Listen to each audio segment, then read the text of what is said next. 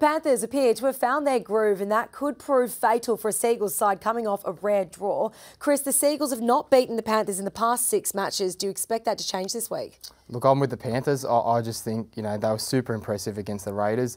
I feel they found their edge um, and they were very ruthless of playing the type of football that in the past few seasons has seen them string a lot of wins together and I think they'll continue that this weekend. Manly will be up by the fact that they're welcoming back Josh Schuster, no doubt. Yeah, definitely. He's a massive inclusion for them. Like, he brings them that X factor and, and I think if they're within striking distance of the Panthers late in the game, he's going to give them that chance. I just think the Panthers over the last couple of years have played those tight games and that's what's going to get them over the line. Yeah, absolutely. Well, there's no respite for the struggling Raiders. They face the competition front runners, the Broncos, at Suncorp Stadium. Chris, it's hard to look past the Broncos at this point of the season. Yeah, you just can't go past the Broncos. They're just such, you know, high in confidence, mm. um, haven't lost a game, and the key players are playing well and they're scoring a lot of points. And and obviously come up against the Raiders team who are quite down on form. Um, I, I, can't see the Raiders beating the Broncos. The Raiders conceded 53 points last week against the Panthers. Ricky Stuart's going to have to try and turn that around and turn it around quickly against a side like the Broncos who've got players like Reece Walsh and X factors. Yeah, and I think that's the biggest issue. You've got a side that can score points in the Broncos, and